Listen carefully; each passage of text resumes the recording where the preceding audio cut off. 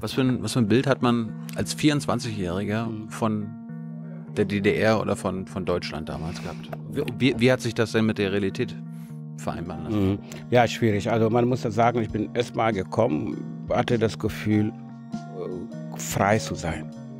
In der DDR? Ja, das klingt ein bisschen widersprüchlich, aber frei von jeglichen finanzieller Sorge.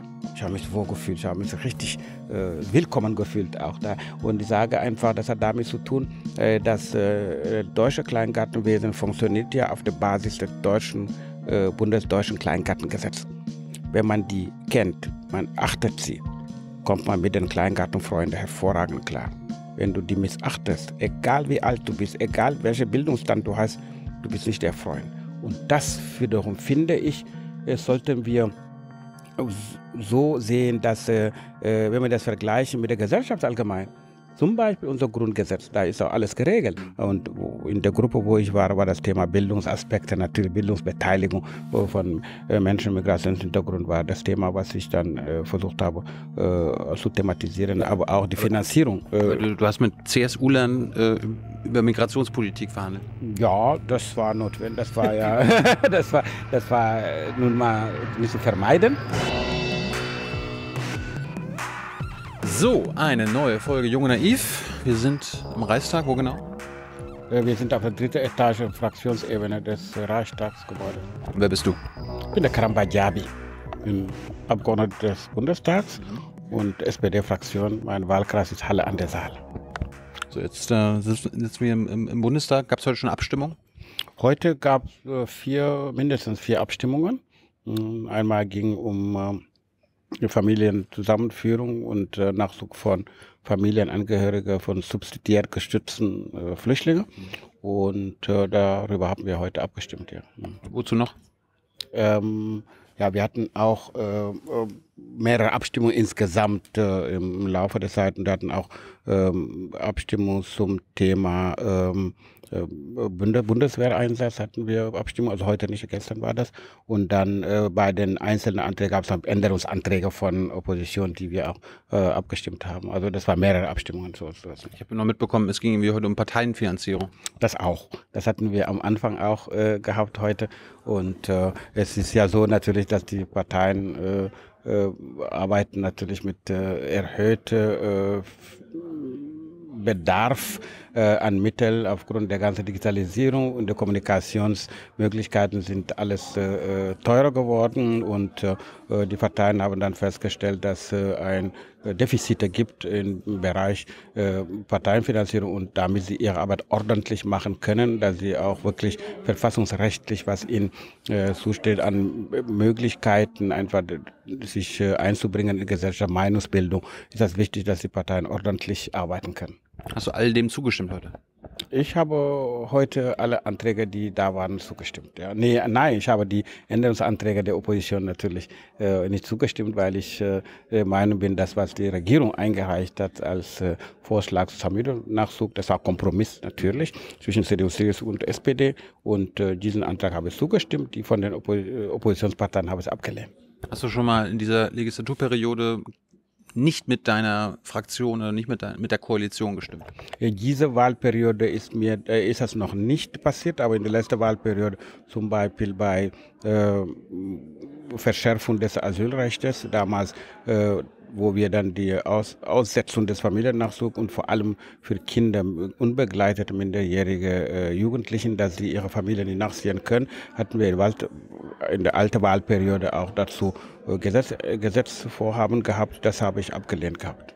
Bei, bei Bundeswehreinsätzen bist du auch immer da habe ich auch einmal, ich weiß jetzt nicht mehr ganz genau, aber das ist alles in Erinnerung, es gibt ja viele, viele Gesetze, habe ich nur ein, einmal auch äh, das, äh, die, die Regierung Meinung nicht geteilt.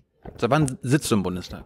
Ich bin seit 2013 im Deutschen Bundestag und das war meine erste Wahlperiode 2013 äh, bis 2017 und jetzt bin ich in der zweiten Wahlperiode. Hast du geträumt, nachdem du, ich weiß nicht, ob du Abi gemacht hast, aber äh, nachdem du aus der Schule raus bist, dass du irgendwann mal im Deutschen Bundestag sitzt? Nein, das auf keinen Fall. Ich bin ja äh, in Senegal geboren, dort habe ich auch Abitur gemacht und äh, dort Lehramt angefangen zu studieren und ab, aufgehört. Dann habe ich Stipendium bekommen, in DDR zu kommen.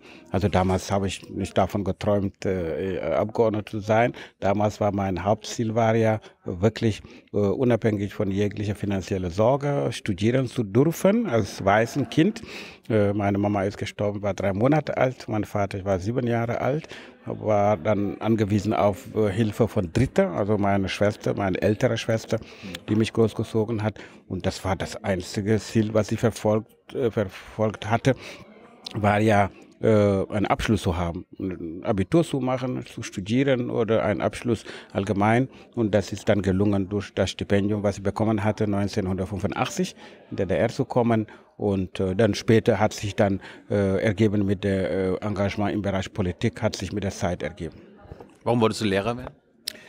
Ja, am Anfang wollte ich Lehrer werden, weil ich meine Familie äh, jemand hatte, der ein Lehrer ist. Der war so ein Vorbild für mich.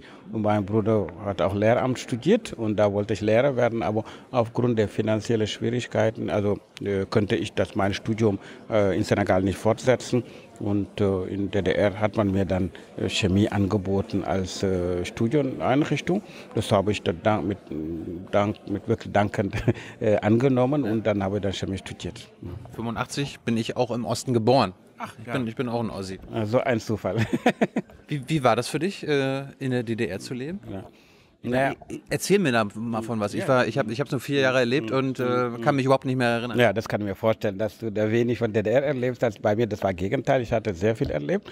Äh, ich bin ja 1985, äh, 2. Oktober, 15.15 Uhr 15 in Berlin. Drei Wochen vor meiner Geburt. Siehst du, das war alles geplant. Also, ja? ich wusste, dass ein schlaues Kind demnächst kommt, deshalb bin ich, habe mich beeilt, um in Deutschland zu sein. Nee, Spaß beiseite. Also, es war, äh, bin dann so Oktober angekommen, 85. Dann bin ich dann nach Leipzig gegangen. Dort war, war es war so geplant, dass ich in Leipzig äh, Deutsch lerne. Das war der, die erste Stufe. Dann habe ich in Leipzig dann Deutsch gelernt, neun Monate lang. Nach dem Deutschkurs bin dann äh, nach Halle geschickt worden, also im wahrsten Sinne des Wortes. Man könnte sich ja nicht aussuchen, wo man dann äh, landet, an welcher nee. Uni. Nee, kannst du nicht. Also man hat dir zugeordnet, man hat mir gesagt, also wir haben für dich Chemiestudium. Also ursprünglich war ich eigentlich zugelassen, um Elektronik zu studieren. Hm. Und dann während dieser Sprachkurs, dann wurde mir gesagt, wir haben für dich kein Chemiestudium, wir haben für, äh, keine Elektronik Studium, ja, die sozialistische Planungswirtschaft. Davon weißt du wenig, aber ich kann dir davon erzählen. Und äh, da hat man dann gesagt, nee, im elektronischen Bereich haben wir keine Plätze für dich als Solidaritätsstipendiat, so hießen wir. Und, aber wir haben Chemie. Ich habe gesagt, danke, bin dankbar, dass ihr Studienplatz für mich habt, dass ihr im naturwissenschaftlichen Bereich mir was anbietet. Nehme ich dankend äh, äh, an und dann habe ich dann Chemie studiert, obwohl da wirklich elektronisch geplant war, aber für Chemie äh, habe ich dann auch sehr gerne gemacht und bin dann äh, später dann als Diplomchemiker und später dann promoviert im Bereich Geoökologie. Ich habe hab damals Chemie in der Schule gehasst. Also ja. Äh, war das eines deiner Steckenpferde? Äh, naja, eigentlich ist das so. Ich habe ein naturwissenschaftliches Abitur gehabt in Senegal. Es okay. war so, dann nach 10. Klasse werden die Schüler dann aufgeteilt Naturwissenschaften, mathematisch-naturwissenschaftliche Richtung. Das ist Serie D, hat man das genannt, Serie. Bereich D oder Bereich C, das wäre dann Physik und äh, Mathematik. Das andere wäre Biologie, Geologie und äh, äh, naturwissenschaftliche Bereiche und äh, andere geistwissenschaftlichen, das ist der Bereich A. Ich habe diesen Bereich D, das heißt, ich könnte dann alles, was mit naturwissenschaftlichen zu tun hat, könnte studieren.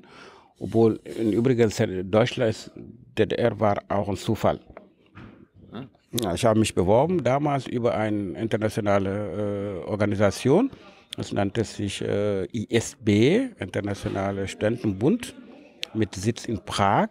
Da waren mehrere Länder Mitglied, meistens sozialistische Länder, aber Länder wie Kanada und waren auch Mitglied drin und viele andere Länder. Und die haben dann Gelder gesammelt in einem Topf, dass äh, jüngere Leute aus Dritt, Drittweltländern, wie man das so nennen kann, äh, die Möglichkeit bekommen, wenn sie engagiert sind. Mhm gute Note haben und familiär nicht so äh, finanziell äh, ausgestattet sind, dass sie das Studium ohne weiteres machen können, dass sie die Möglichkeit haben, sich zu bewerben in Prag.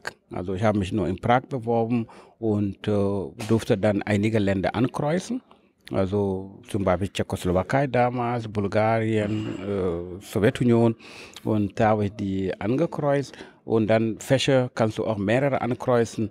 Äh, hatte ich dann Elektronik angekreuzt, Chemie habe ich angekreuzt, Wasserwirtschaft habe ich angekreuzt. Es könnte also Bulgarien Landwirtschaft sein oder Wasserwirtschaft und könnte auch äh, äh, Tschechoslowakei sein mit äh, einer anderen Fachkombination. Mir war das alles egal. Hauptsache, du bekommst einen Studienplatz. Und für die Sprache, das war auch völlig egal, denn ich müsste sowieso eine neue Sprache lernen.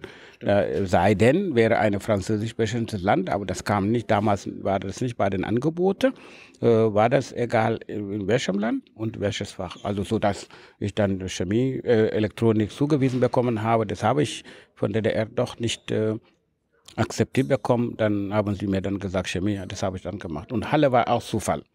Ich habe in Halle studiert, promoviert, aber Halle war Zufall, äh, weil äh, die Herrschaften mich eigentlich in Merseburg schicken wollten.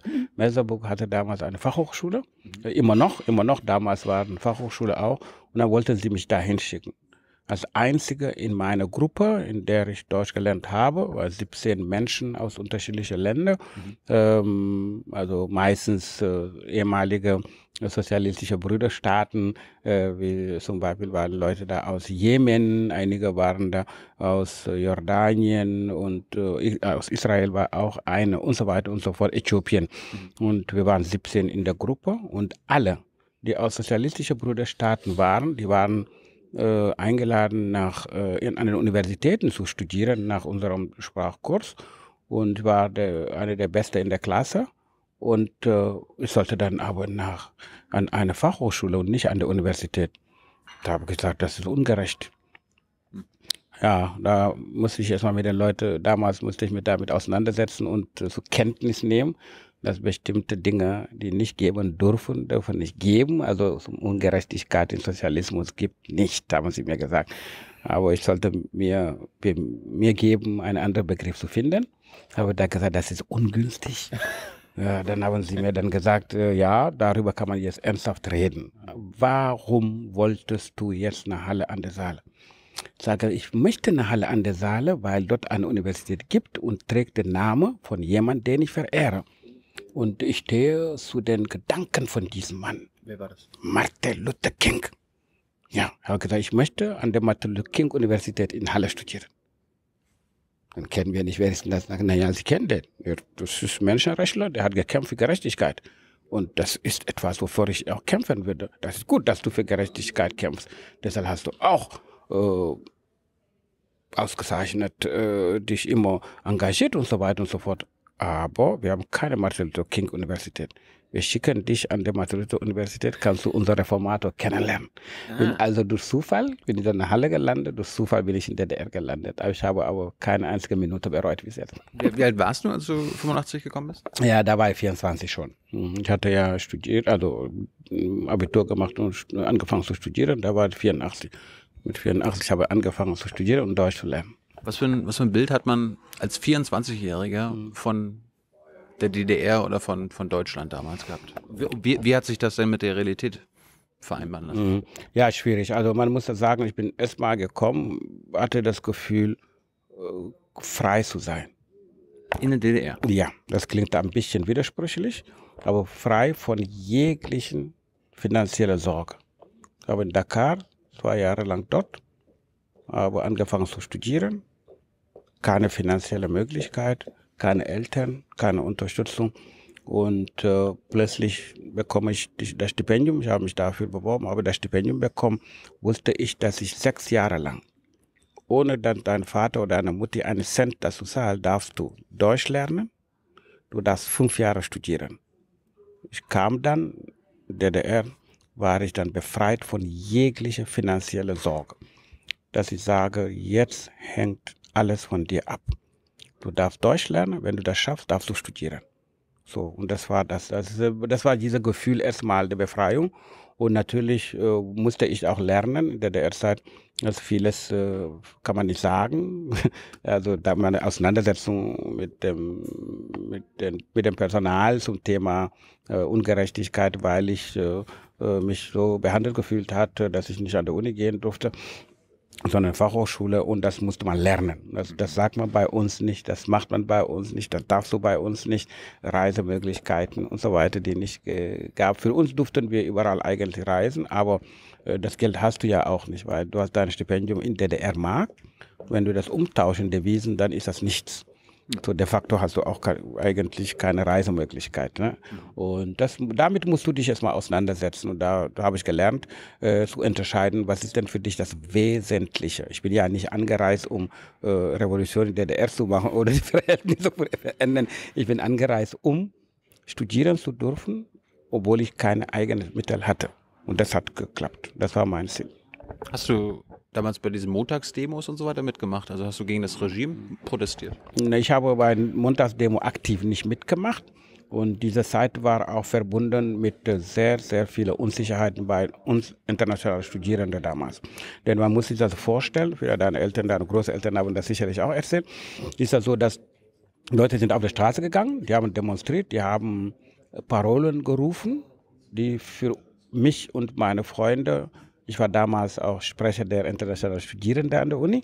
Das war für uns beunruhigend. Die sind auf der Straße gegangen, Leute, die du eigentlich nicht so gut kennst, denn wir waren in Studentenwohnheime untergebracht, hatten wenig Kontakt mit der Bevölkerung, mit Lehrkörper, mit, man war in seiner Studentenblase, ne? man hat äh, direkt Kontakt zu, aus, äh, zur Bevölkerung nicht so richtig. Plötzlich kriegst du mit, äh, diese unbekannte Bevölkerung auf der Straße ist und laut wir sind das Volk. Wir sind das Volk. Das hat uns dann beunruhigt.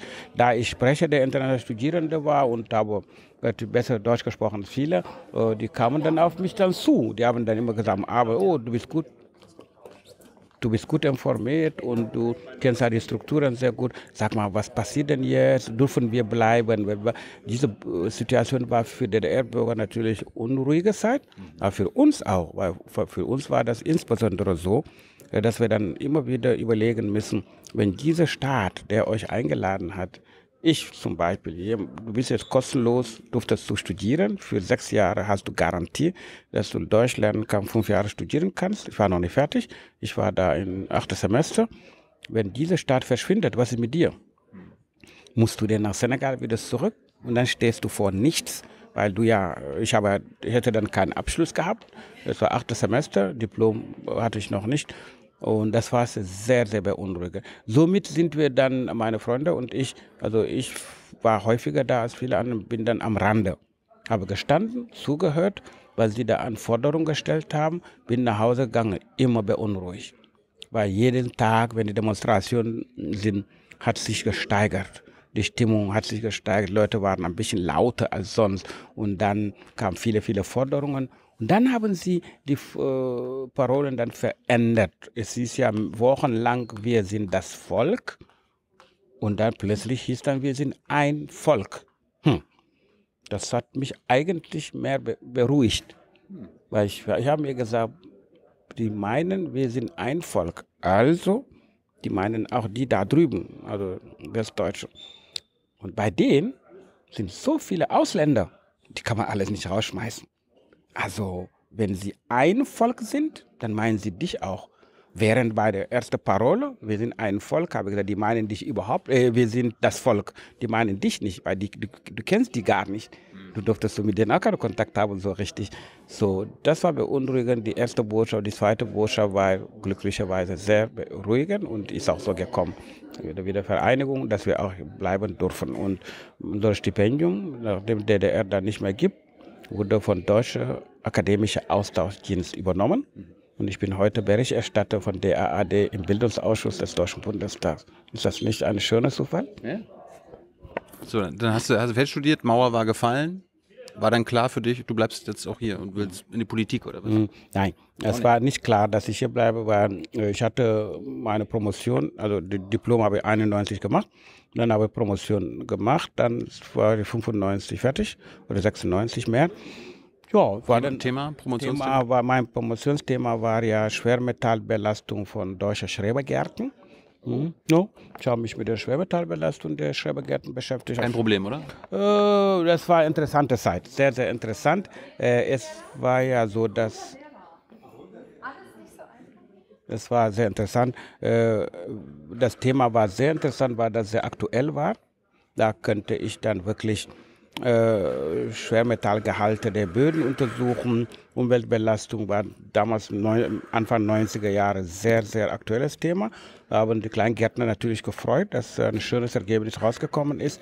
Und das Zweite, was äh, noch interessanter war, ich habe mit meinem Thema, mein Dissertationsthema, äh, das deutsche Kleingartenwesen kennengelernt. Und also deutsche Kleingärtner sind ein nettes Völkchen.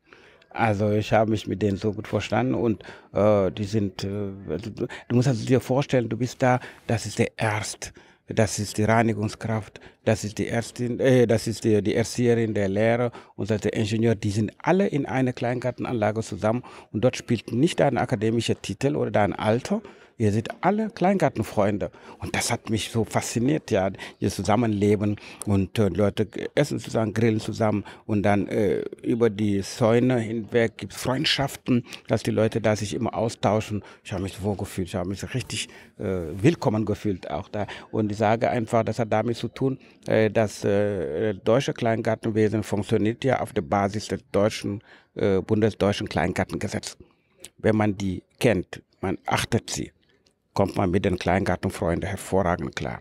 Wenn du die missachtest, egal wie alt du bist, egal welchen Bildungsstand du hast, du bist nicht der Freund. Und das wiederum finde ich, sollten wir so sehen, dass, äh, äh, wenn wir das vergleichen mit der Gesellschaft allgemein, zum Beispiel unser Grundgesetz, da ist auch alles geregelt. Wenn du das Grundgesetz achtest, respektierst, zum Beispiel äh, Chancengleichheit zwischen Mann und Frau, so, wenn du das nicht in Frage stellst, Meinungsfreiheit, Religionsfreiheit, wenn du alles nicht in Frage stellst, kommst du klar. Wenn du anfängst, Religionsfreiheit in Frage zu stellen, zum Beispiel Islam gehört nicht zu Deutschland, da sind Konflikte, die du äh, thematisierst, die du bringst, die dann äh, alles durcheinander bringst, die nicht unbedingt im Sinne des, Grunde, des Grundgesetzes ist.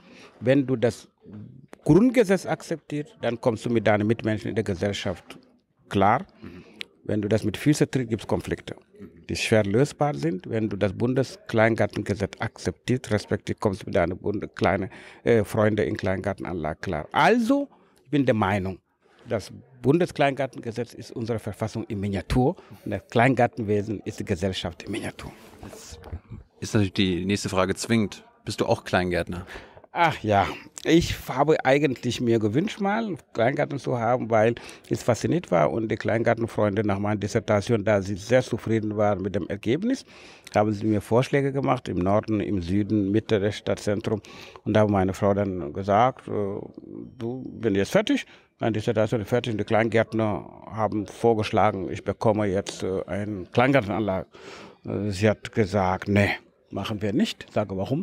Naja, Stell dir vor, du kennst ja die Arbeit in Kleingartenanlage, sage ja. Stell dir vor, du treibst dich am Wochenende in die ganze Welt rum. Ich sitze mit den Kindern alleine da, das mache ich nicht. Habe ich dann akzeptiert. Wie ging es nach der Promotion weiter? Ja, nach der Promotion habe ich dann an der Uni, war ich da ein bisschen tätig als äh, studentischer äh, Mitarbeiter, davor auch schon. Habe eine Stelle bekommen für kurze Zeit und dann bin dann von der Uni weg, weil ich dann keine Stelle mehr hatte habe dann angefangen zu arbeiten als Dolmetscher, mehrere afrikanische Sprachen und Französisch und habe mich dann auch parallel sehr äh, engagiert im Bereich Bildung. Aus außerschulische Bildungsangebote habe ich in Schulen gemacht man muss das im Kontext ausstellen, das war Anfang der 90er Jahre. Da war die ganze Unruhe, die ganze Gewalttaten, äh, Rassismus äh, überall und Mölln, Heuswerda, aber auch äh, Rostock-Lichtenhagen und so weiter und so. Und da äh, war für mich dann wirklich wichtig, sich mit dieser äh, ganz wichtige gesellschaftspolitische Thema auseinanderzusetzen. Das Thema Rassismus im Alltag, habe Bildungsangebote unterbreitet in Schulen, äh, bei Lehrerfort- und Weiterbildung, bei der Erzieherinnen und Erzieher Und dann habe ich dann irgendwann bei einem Verein gearbeitet, der sich da äh, diese Thematik da äh, vorangenommen hat. Bin dann fast äh, 15 Jahre lang bei Bildungsträger unterwegs gewesen, habe interkulturelle Bildung gemacht und so unterschiedliche Themen in Schulen, bei den Lehrern, bei vielen äh, Multiplikatoren. Und äh, irgendwann habe ich mich dann engagiert, auch im Stadtrat in Halle, ehrenamtlich, äh, für die SPD-Fraktion im Umweltausschuss und im Bildungsausschuss. Und äh, ja, hauptamtlich bin dann von dem Bildungsträger dann äh, ins Sozialministerium des Landes Sachsen-Anhalt gewechselt als Referent, habe mich dort beworben und von dort dann habe ich kandidiert dann für den Deutschen Bundestag 2013. Jetzt sagst du, du warst äh, in die SPD dann eingetreten. Warum? Ich meine, du warst in der DDR. Äh, vielleicht bist du ja irgendwie sogar Sozialist geworden oder so weiter. Warum hast du nicht für die Linke entschieden oder die PDS damals? Naja, für die Sozialisten weniger. Da kann ich dir auch eine Anekdote erzählen. Also als ich in die DDR gekommen bin, mh, mm, ich hatte ja keine eigene Flugkarte, weil die DDR hatte äh, das Stipendium gegeben, aber ohne Flugkarte. Ich wusste nicht, wie ich hier komme. Aber keine, äh, keine Eltern, die mir das geben können, aber einen Onkel, der mir die Flugkarte gegeben hat mit der Voraussetzung, äh, ich darf nicht Kommunist werden. ja, er hatte gedacht, naja, wenn die Leute dann Sozialismus studieren, die machen 90% Kommunismus und dann äh, Marxismus, Leninismus, die machen 10 äh, Fachthema, ja. So, und äh, da wäre ich nie Kommunist geworden. Äh, geworden. So, ebenfalls äh, SPD war die Frage, warum?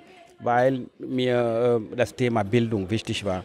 Und ich wusste, dass bei der SPD das im Mittelpunkt steht, zu sagen, jedes Kind muss die Möglichkeit bekommen, erfolgreich im Bereich Bildung zu sein, unabhängig von Geldbeutel der Eltern.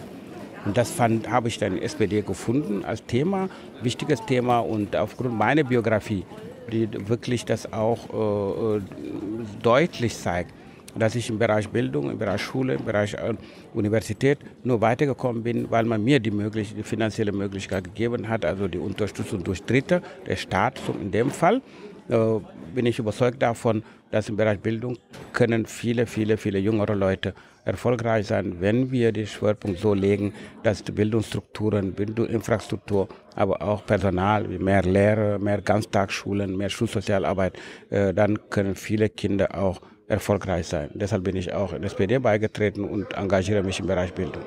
Grüne und Linke waren also keine Option.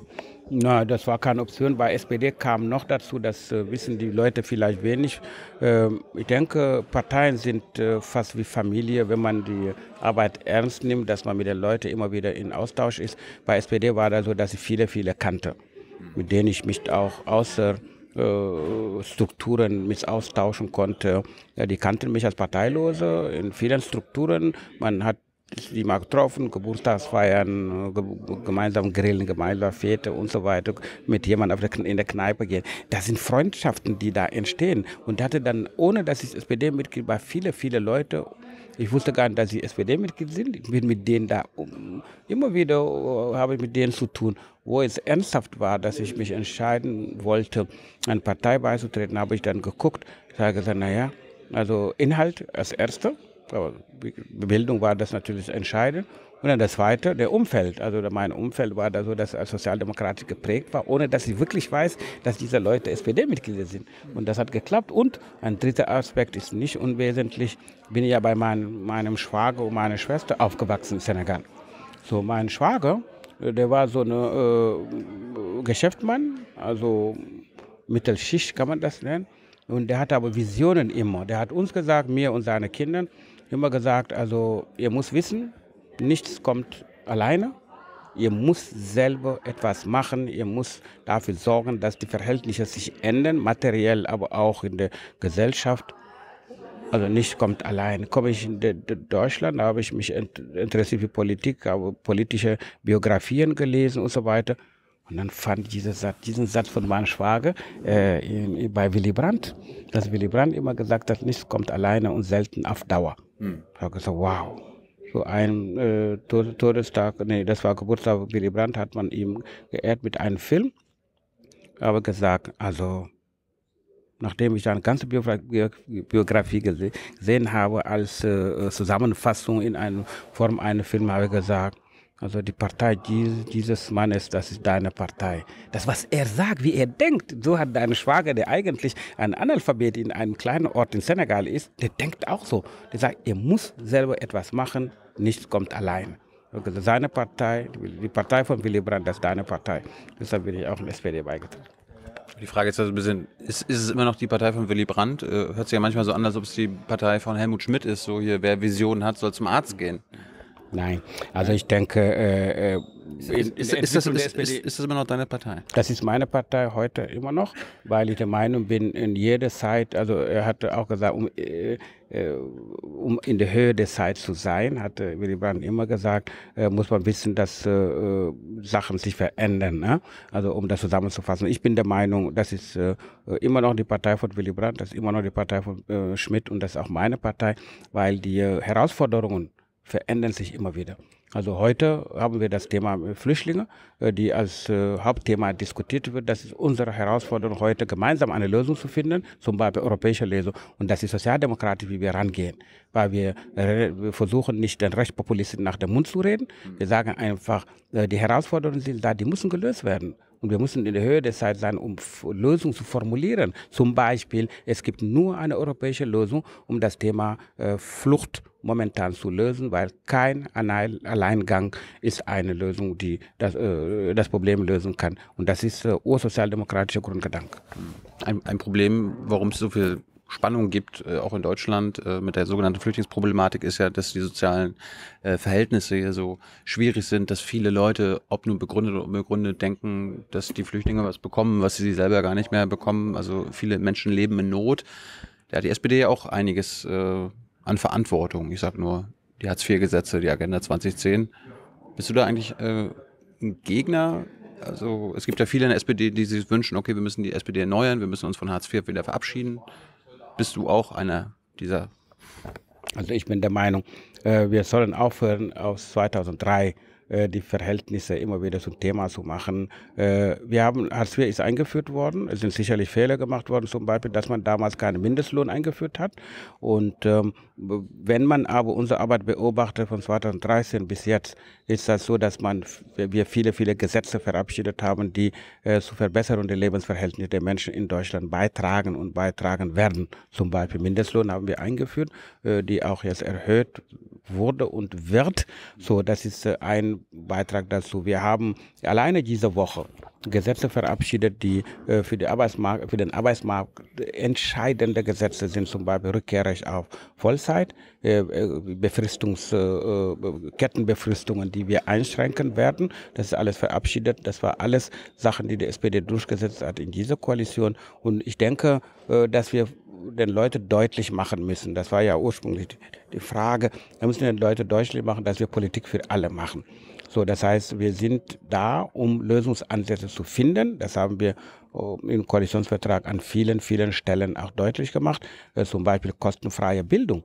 Also wir sagen, Bildung von Kita Schule, Ausbildung, Universität soll nicht kosten. Und da sind Gesetze vorgesehen in diesem Bereich. Da sind alle Antworten auf die Herausforderungen von heute. Was wir, den Fehler, den wir nicht machen sollen, ist wirklich Menschen, die äh, äh, die Unsicherheit äh, bei den Menschen, die entstanden ist durch äh, viele Umwälzungen in der Gesellschaft, passiert ja sehr viel. Die, die, Menschen, die das ausnutzen wollen, das sollen wir nicht zulassen, denn die wollen nur die, die spalten. Und wir müssen dafür sorgen, dass wir Lösungen finden für die Alltagsprobleme der Leute. Und ich denke, dass viele Antworten finden sich in der jetzigen Koalitionsvertrag.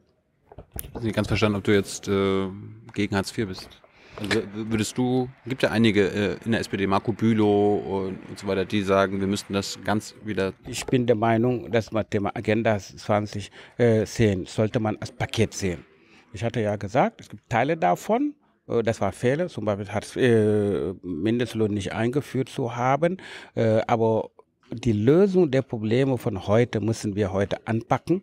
Und ich denke, da gibt es ja viele, viele neue Vorschläge. Ich würde äh, das, die ganze Agenda verändern und nicht nur auf Hartz IV einschränken. Das wäre mir so einfach. meine, Hartz IV ist ja auch verbunden mit Sanktionspraxis. Ja? Wenn, wenn Leute irgendwie nicht einen Job annehmen wollen, der mhm. ihnen vorgeschlagen wird, dann wird ihnen äh, was gekürzt. Das da, ist ja auch von der SPD. Da sind auch Veränderungen gemacht worden, dass man, oder Vorschläge, dass man zum Beispiel sagt, Sanktionen bei jüngeren Menschen äh, unter 25, äh, dass man das überdenkt. Ich denke, man muss das Ganze als Paket sehen. Man muss auch den Zeitraum gucken, was passiert ist zwischen 2013 und 2017. Äh, da sind viele Sachen passiert, wo ich der Meinung bin, die tragen dazu bei, dass die Lebensverhältnisse der Menschen in diesem Land verändert wurden. Wir haben Arbeitslosigkeit unter zwei, äh, zwei Millionen. Äh, wir haben äh, Steuer, gute Steuereinnahmen. Im Bereich Bildung haben wir beispielsweise, ich bin ja im Bildungsausschuss, haben wir zwischen 2005 bis 2017 haben wir alleine eine Steigerung von 130 Prozent von 7,3 Milliarden Euro auf 17,6 Milliarden Euro. Das sind Sachen, die, das sind keine Wahlkampfgetöse, das sind äh, richtige Ergebnisse der sozialdemokratischen Politik, weil wir dabei sind in dieser Regierung. Wenn wir nicht dabei gewesen wären, wären diese ganzen sozialpolitischen Maßnahmen, die ich erwähnt habe, nicht. Und wir haben auch in dieser Wahlperiode jetzt für den sozialen Arbeitsmarkt ein Instrument, das wird, wird heil vorgeschlagen, auch äh, diskutiert jetzt dass wir für die Langzeitarbeitslosen äh, ein Instrument schaffen, dass jeder, der langzeitarbeitslos ist, dass er die Möglichkeit bekommt, in eine sozialversicherungspflichtige Tätigkeit drei Jahre bis zu fünf Jahre beschäftigt zu sein, begleitet mit einer Ausbildung. Haben, äh, das ist ein Problem, dass wir Langzeitarbeitslosigkeit befestigt bei einigen Gruppen, eine Million Menschen äh, gibt es davon und dafür wollen wir dann für 150.000 Leute den Sozialarbeitsmarkt einführen und dass man davon profitiert. In meinem Wahlkreis werden dann über 4200 Leute davon profitieren. Das sind Antworten auf die, äh, äh, auf die Bedarfe, die in der Gesellschaft sind. Da sind viele andere im Bereich Pflege und, und so weiter und so fort. Aber das, was ich gerade äh, deutlich machen möchte, ist die Antwort auf die Fragen, auf die Herausforderungen, die sind heute, die müssen heute beantwortet, beantwortet werden. Und die Beispiele, die ich gegeben habe, sehe ich die als äh, eine Antwort auf die heutige Herausforderung. Jetzt bist du im Bildungsausschuss. Mhm. Äh, da, wir wissen ja, Bildung ist in Deutschland großteils immer noch Ländersache. Mhm. Wie, wie, viel, wie viel Einfluss habt ihr überhaupt auf die, auf die. Bildungspolitik in Deutschland? Ja. Aufgrund der, des Föderalismus ist es so, dass Bildung ist Hoheit der Länder. Allerdings ist es uns gelungen. Müsstest du eigentlich Bildungsminister in Sachsen-Anhalt Es ist uns gelungen, jetzt äh, in dieser Koalition, äh, dass wir vereinbart haben, dass wir das Grundgesetz demnächst ändern werden, äh, dieses Jahr noch damit der Bund dauerhaft sich im Bereich Schule auch engagieren kann.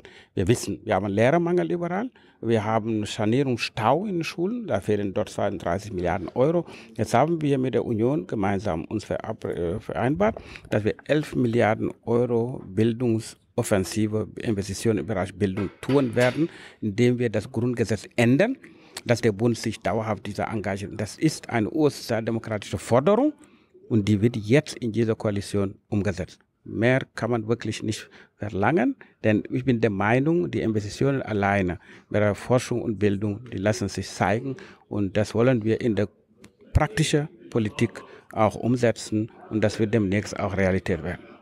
So, also ihr ändert das, Grundgesetz ändert ihr, das heißt, Ihr habt dann anscheinend im Bildungsausschuss äh, auch mehr zu sagen in Sachen Bildungspolitik in Deutschland, richtig? Ja, das ganze, äh, die ganzen Veränderungen, die wir vorstehen, Grundgesetzänderung, muss natürlich mit den Ländern äh, besprochen werden. Wir können äh, nur als äh, Bildungskooperation machen dass Länder, Bund und Länder gemeinsam an einem Strand ziehen. Die Länder sehen die Notwendigkeit und die Erwartungen der Länder müssen wir berücksichtigen natürlich. Und parallel zu dieser Bildungsinvestition wollen wir äh, auch einen nationalen Bildungsrat bilden.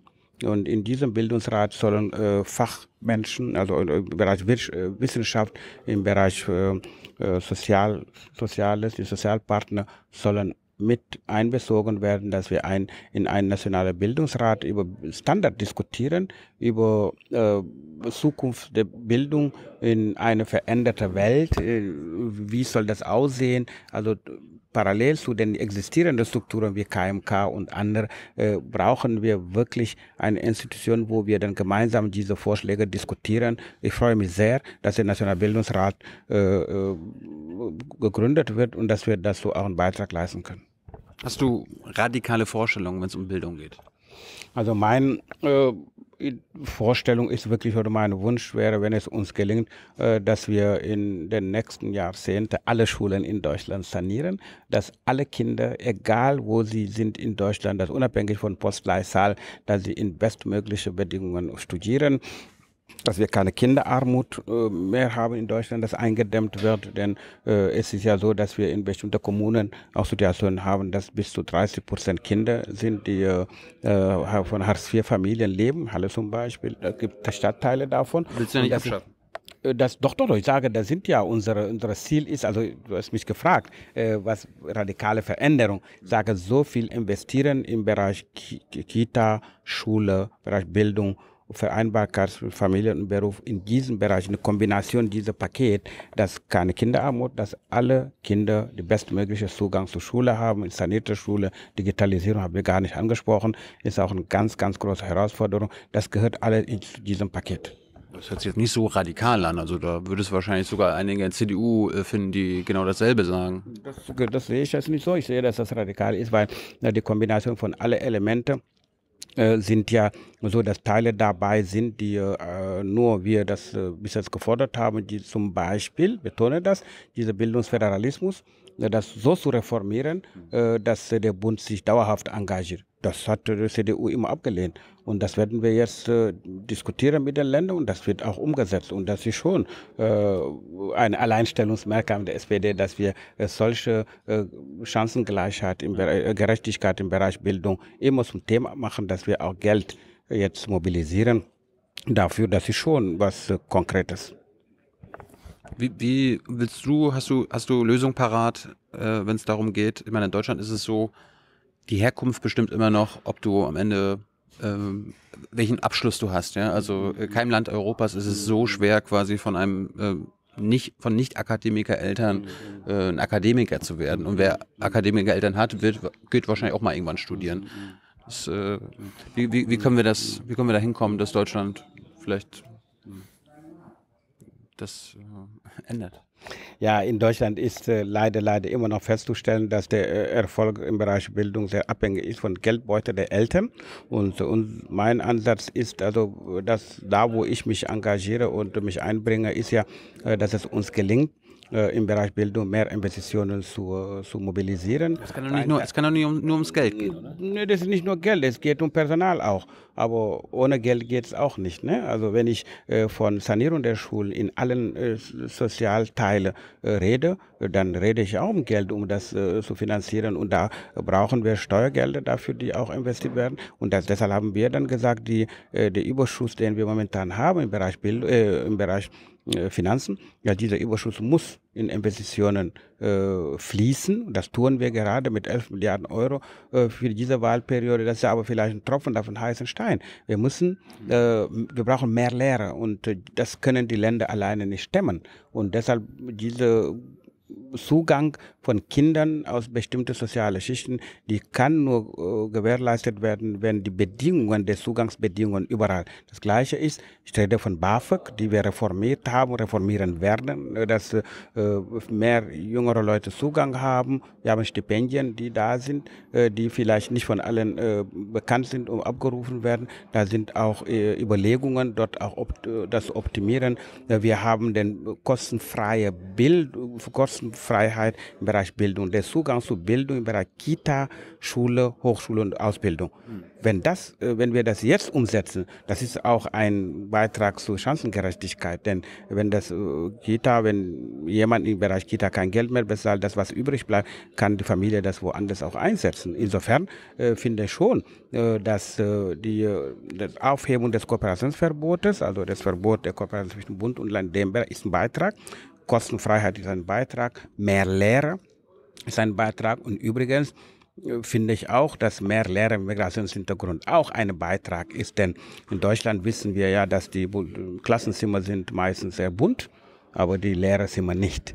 Insofern finde ich schon, dass äh, in einer Bevölkerung mit 23 Prozent Menschen mit Migrationsgeschichte äh, ist das längst überfällig, dass wir uns Gedanken darüber machen, wie kann die interkulturelle Öffnung im Bereich Schule auch Fuß fassen. Und das versuchen wir natürlich innerhalb der SPD auch ein Thema zu machen. Wir brauchen mehr Lehrer und Lehrerinnen. Wie kann man den Beruf an sich attraktiver machen? Ja, indem äh, die Bezahlung natürlich äh, auch attraktiver gemacht wird.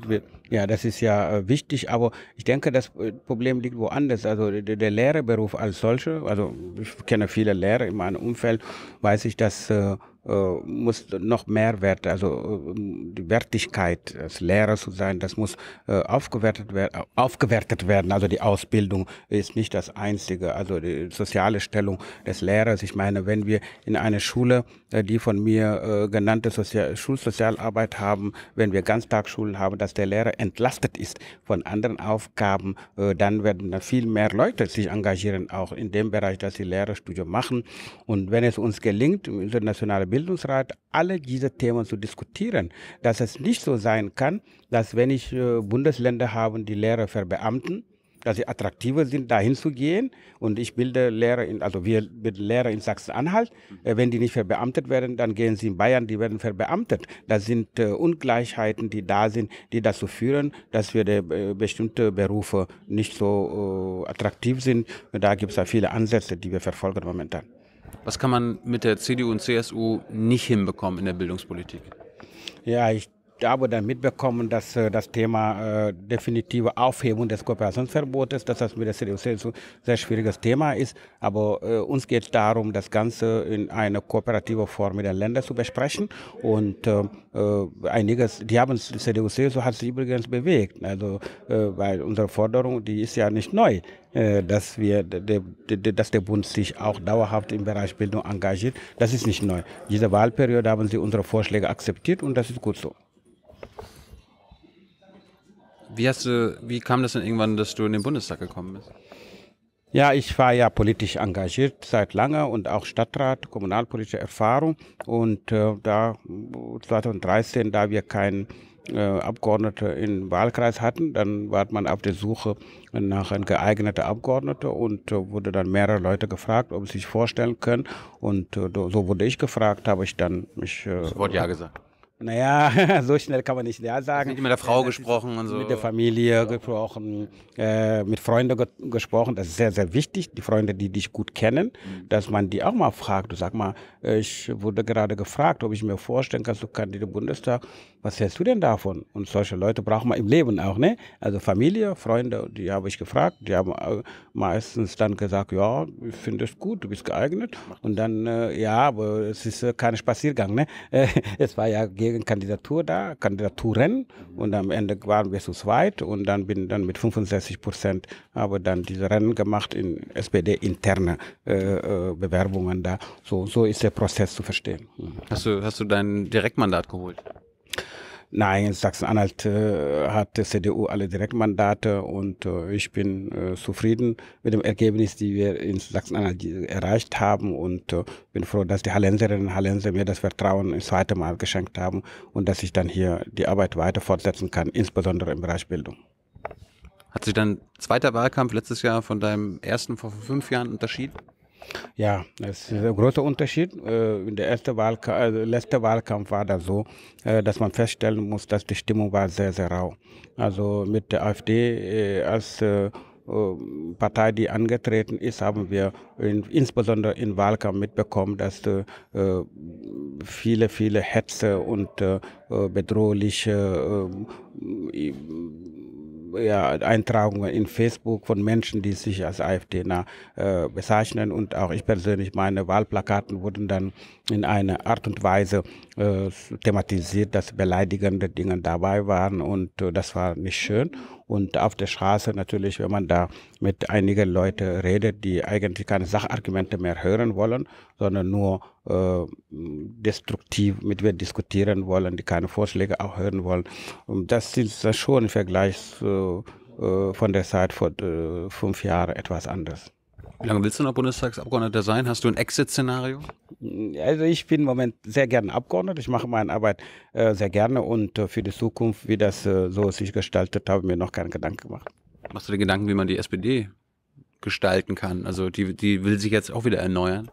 Ja, innerhalb der SPD laufen sehr viele Diskussionen. Ich bin auch beteiligt in meinem Ortsverein, denn die Erneuerung der SPD kann nicht von oben passieren, das kann nur von unten passieren. Wir haben ein Konzept die Vorlegen von Parteivorstand und die müssen dann diskutiert werden. Es ist ein sehr komplexe, äh, komplexer Vorgang, der momentan passiert, aber es sollen in den Ortsvereinen auch darüber diskutiert werden, äh, wie, welche Themen stellen wir im Mittelpunkt, wie konzentrieren wir uns auf unsere ursozialdemokratischen Themen wie äh, im Bereich Bildung, im Bereich Soziales, unser Zusammenhalt in der Gesellschaft. Das sind alle Themen, die wichtig sind und die werden dann in Ortsvereinen. Wir brauchen die Beteiligung unserer Mitglieder und bei mir in Ortsvereinen läuft das schon. Ich bin bei den Ortsvereinssitzungen immer dabei, wenn da, darüber diskutiert wird. Und da sind wir zuversichtlich, dass wir äh, in den nächsten anderthalb Jahren äh, einen Fortschritt erreichen werden. Erreichen werden. Anfang des Jahres gab es ja hier äh, SPD-Mitgliederbefragung zum Thema GroKo oder No-GroKo. Mhm. Wie hast du abgestimmt?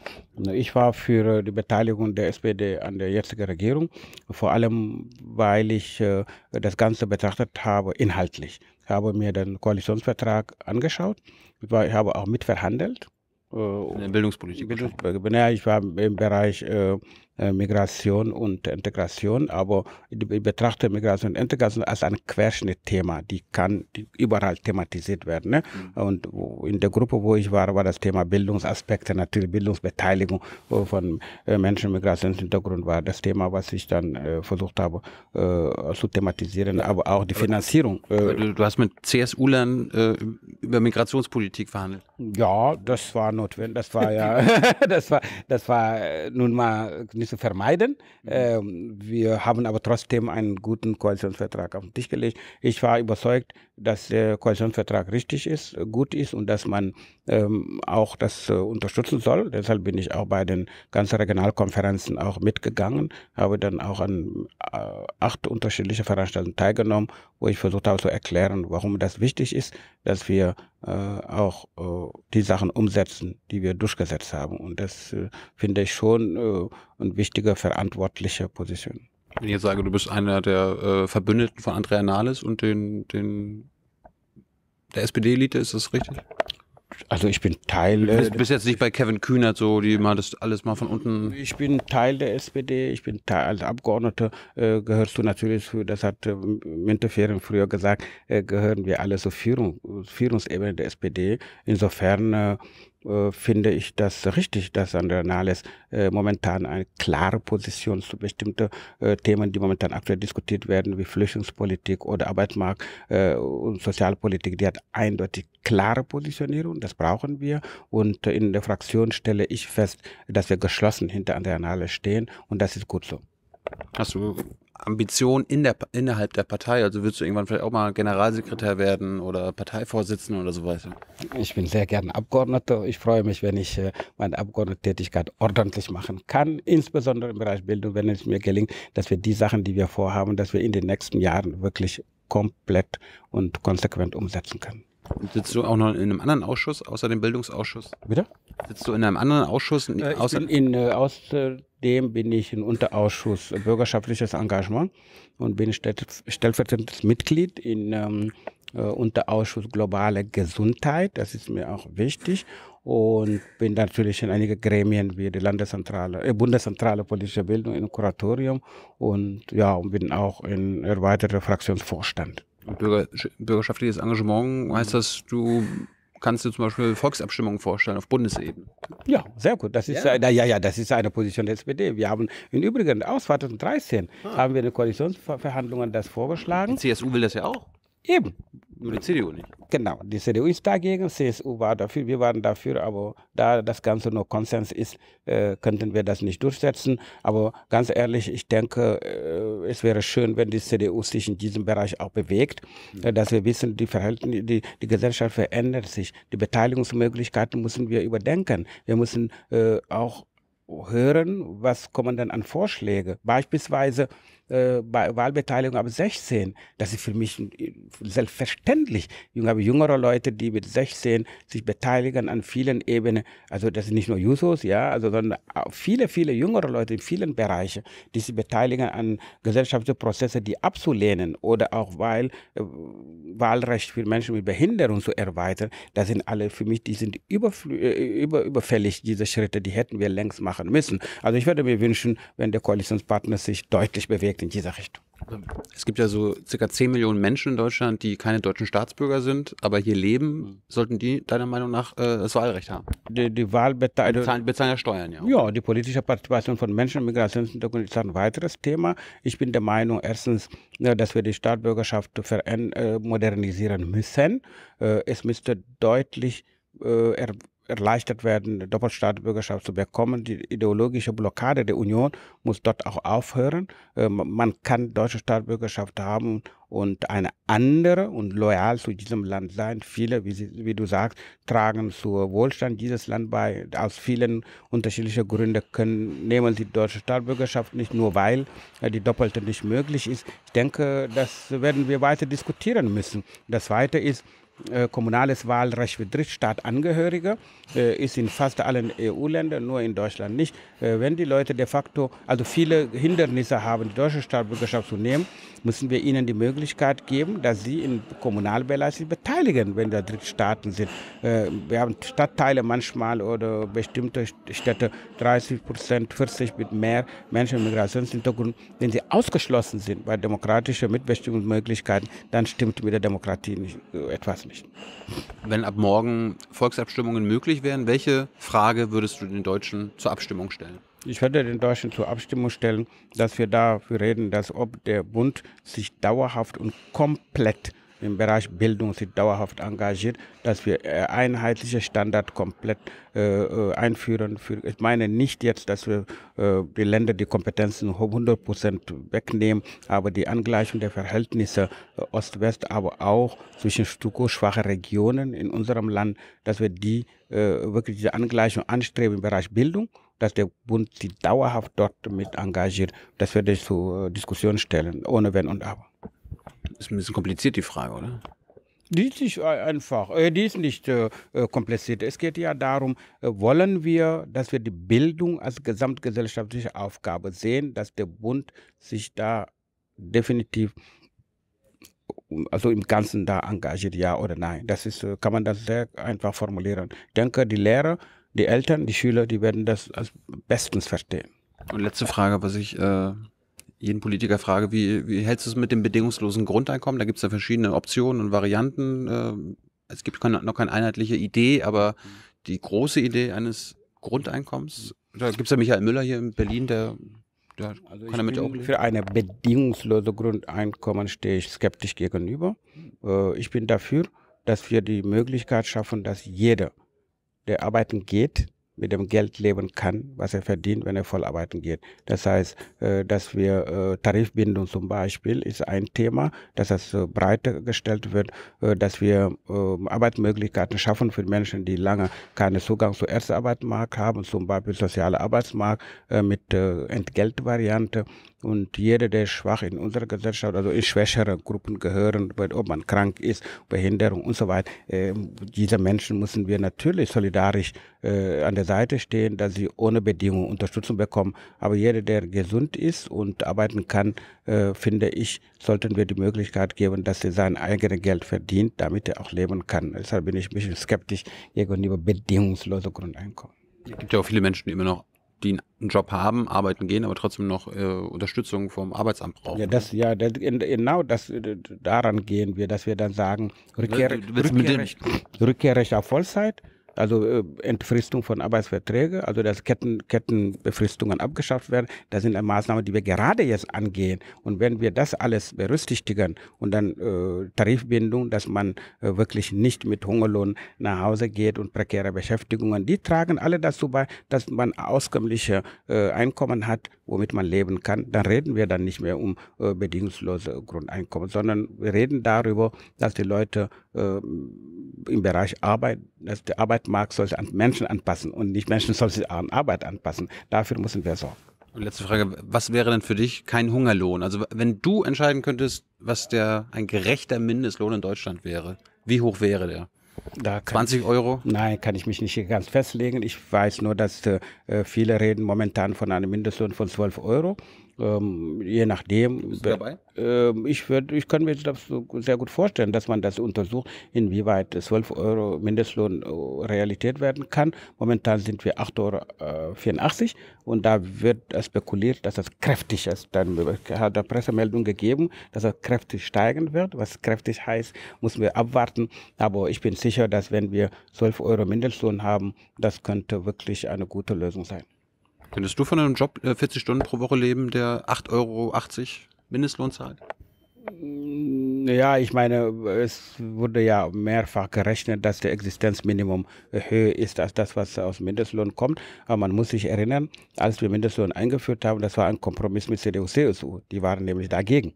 So, jetzt haben wir das eingeführt und das steigt. Und das muss man so sehen, das Glas ist halb voll. Aber das beantwortet jetzt nicht meine Frage. Also könntest du von, von dem aktuellen Mindestlohn äh, in Vollzeit leben? Das kann ich nicht einschätzen, weil ich der, Meinung bin, man muss das immer wieder in Kontext auch gucken, in welcher Region man lebt und was sind die Ausgaben. Aber äh, der Existenzminimum muss gesichert werden, dass man wirklich, wenn man Arbeit geht, dass man mehr Geld in der Tasche hat als jemand, der nicht arbeiten geht. Gut. Vielen Dank für deine Zeit. Äh, die WM geht jetzt los. Äh, wie, wie, wie macht ihr das eigentlich, wenn jetzt irgendwie Deutschland spielt und ihr irgendwie Abstimmung habt? dürft, dürft, ihr denn nebenbei Fußball gucken oder so? Nee, also wenn Abstimmungen sind, das hat Vorrang. Also da wird äh, keine Ausnahme geben. Also ich gehe davon aus, dass der älteste Rat, wenn die die äh, Tages, äh, Tages, äh, ab, nee, die äh, nicht Tagesablauf, sondern Tagesordnung. Tagesordnung. Die Tagesordnung wird ja von ältester Rat gemacht, äh, dass sie auch das äh, einigermaßen berücksichtigen. Und jetzt noch drei Jahre äh, diese Legislaturperiode. das war deine letzte Frage. Ja, ich, ich, mir, mir, mir aber worauf freust du dich die nächsten drei Jahre? Gibt es irgendwas, was du äh, in, den, in, dieser Legislaturperiode noch erreichen willst? Also neben der, deiner Bildungspolitik und so. Persönlich oder? Ja. Dass ich so fit und gesund bleibe, dass ich weiterhin Abgeordneter bleiben kann. Das wünsche ich dir auch. Danke für deine Zeit. ciao, ciao, ciao.